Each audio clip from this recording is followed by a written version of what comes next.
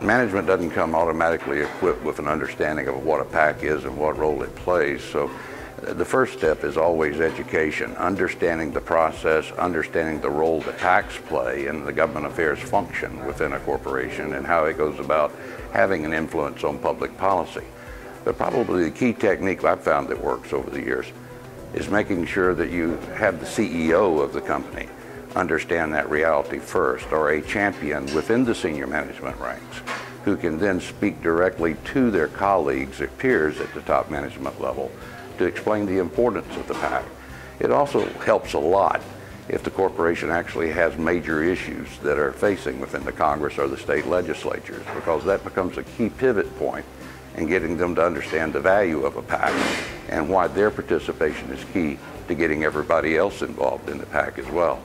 With senior management, it's almost always a leadership approach as opposed to any other approach.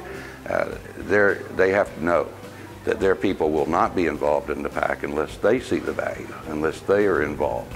And that leadership function probably is a greater motivator than anything else to getting senior management involved.